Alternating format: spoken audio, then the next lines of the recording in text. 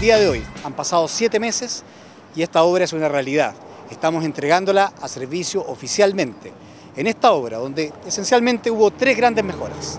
Se subió el puente del río Mapocho, un metro ochenta, para permitir un mayor cauce hidráulico y facilitar el manejo de ese río ante situaciones de crecidas.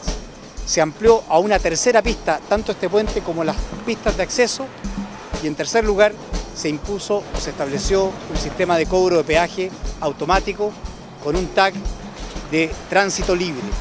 Esas tres mejoras significan que hoy día en este punto no hay congestión alguna.